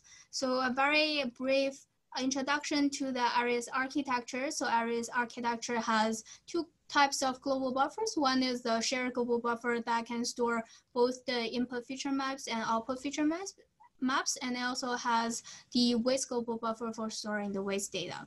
And it has an array of 168 PEs, which is 12 by 14, and there are four different networks responsible for sending data back and forth between the global buffer and the PE array. And inside each PE, we have three different types of local buffer. Uh, each of them is responsible for storing a specific data type. And we have the MAC unit responsible for performing multiple accumulation operations. And one important optimization applied to this architecture is the zero gating optimization, which refers to the fact that when there is a zero input feature map data, we do not want to read the waste data because no matter what the rate is, the MAC output will be uh, will uh, the multiplier output will be zero. And also we want to gate on computing of the MAC because one of the operand is zero. So this results in two um, fine-grained action types, which are the gated read action on the memory storage component and gated MAC action on the MAC component. So as we have mentioned, we have achieved 95% accuracy for uh, in terms of total energy estimation comparing to post-layout energy.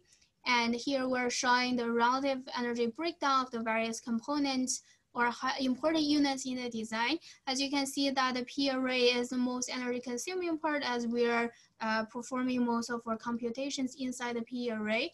Um, to elaborate both the local data reuse and the MAC optimization. And uh, we also have the networks and global buffers. So as shown in these figures, Accelergy is able to capture relatively accurately in terms of the energy breakdown across these components. So let's first, since P array is the most important part of this design, let's further take a look into the P array energy breakdown. So this figure shows um, the Accelergy estimation ground truth and also comparison to existing work called Aladdin, which is a very popular energy estimator for accelerator or modeling tool for accelerator designs. So this figure shows the energy breakdown of the PEs across the array. The x-axis again is the various PEs in the P array and each of them is processing data of different sparsity. The y-axis is the energy consum total energy consumption of this P array in terms of microjoules. So as you can see that Accelergy is again able to capture the chance as well as the ener absolute energy consumption of these PEs.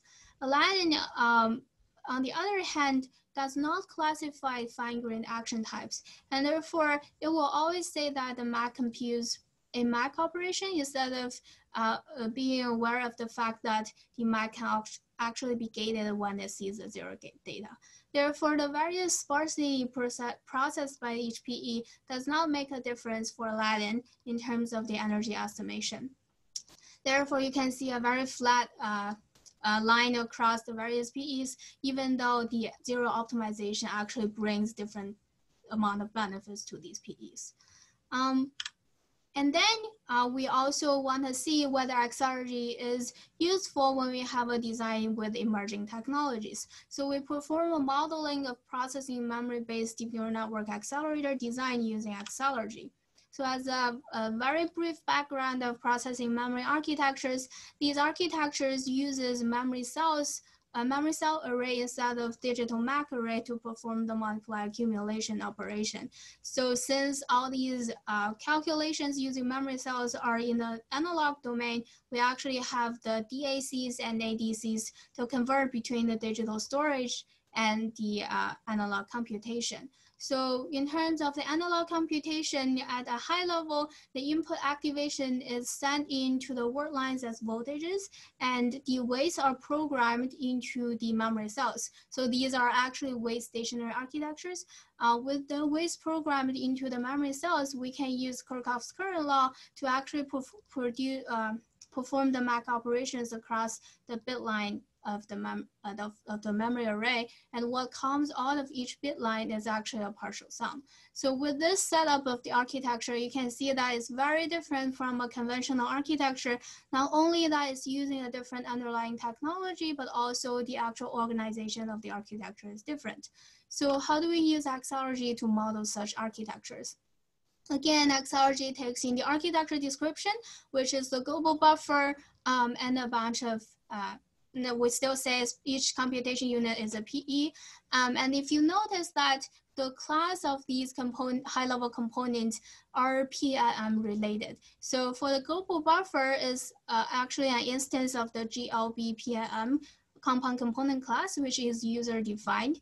And what's inside this uh, high-level compound component is the actually the SRAM storage similar to the conventional design where it stores the digital data, but it also involves the A to D and D to C, uh, A to D and D to A component uh, for performing the convergence between, uh, between the uh, digital and analog domains. And similarly, for each MAC unit uh, in the PIM domain, this definition also is related to the um, uh, a memory cell. So here, each memory cell stores one bit. So in order to perform a 16-bit MAC unit, you in, the, in this component, you will have multiple of these memory cells.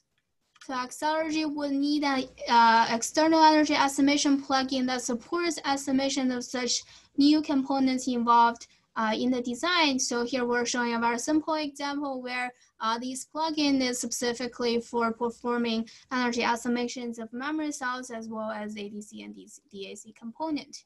And with this, we take in the action counts of the components in the design and generate the energy estimation uh, for this design. So this is at a high level how Accelergy can be adopted to modeling such emerging technology-based architectures.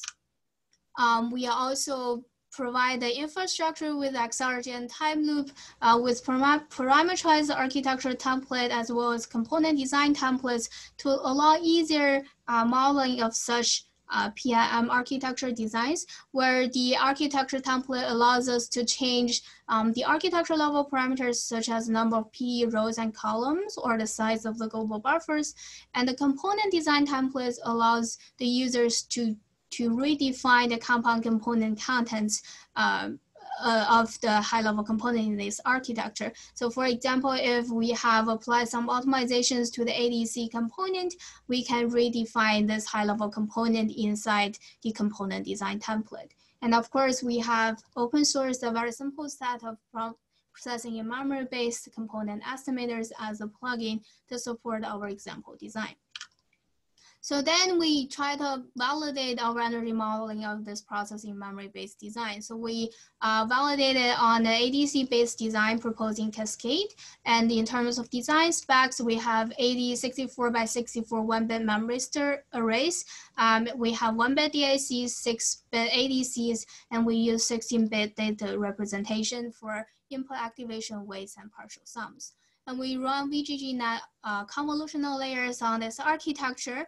Uh, for uh, external energy estimation plugins, we basically constructed a database with numbers extracted from the paper or its cited source. Um, here we're showing a validation in terms of the uh, total energy consumption across the VGG layers, and this energy is breakdown into the various components in the design. As you can see that uh, we have a very close uh, energy estimation in terms of total energy consumption, which is 95% accurate. And we also are able to track relatively accurately uh, in terms of the breakdown across the various units in the design. And here, un unlike the conventional architecture, we, we also need to consider what's the most important energy uh, most uh, most energy consuming part in this architecture. And from this figure, we can see that Accelergy tells us the analog to digital convergence system is the most energy consuming uh, unit of this design. And here we're showing um, the energy breakdown across the various VGG convolutional layers captured by our Timeloop XRG system. Um, and you can see that uh, we not only are able to capture the total energy consumption, we're also able to capture the per layer uh, energy consumption and as well as the actual energy breakdown across the various components inside each layer. So this basically uh, concludes the Accelergy part. And as a summary, Accelergy is an architectural level energy estimator, and it allows us to um, explore the design space in a much faster way. It provides flexibility to describe and evaluate a wide range of accelerator designs, and it also supports different technologies with user-defined plugins. Uh, we are able to show that we can achieve high accuracy energy estimations for both the digital conven conventional digital design Eyeriss and the uh, processing memory-based accelerator. So the Timeloop Accelergy system allows us to perform fast explorations on both the high-level architectural properties um, and as well as the lower-level implementation optimizations on the various components, such as when we have a storage unit with local address generators.